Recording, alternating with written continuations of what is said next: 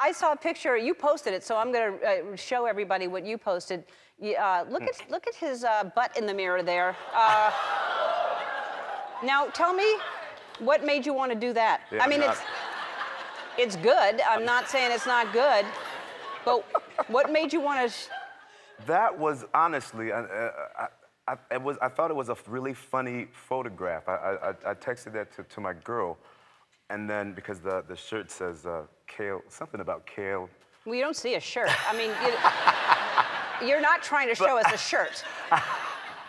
I thought it would be funny. Do you don't think it's funny? It's I think not, it's funny. No, it's not funny. It's it's it's uh, good. It's uh, Do, wait, does it look But- like I'm seriously showing off?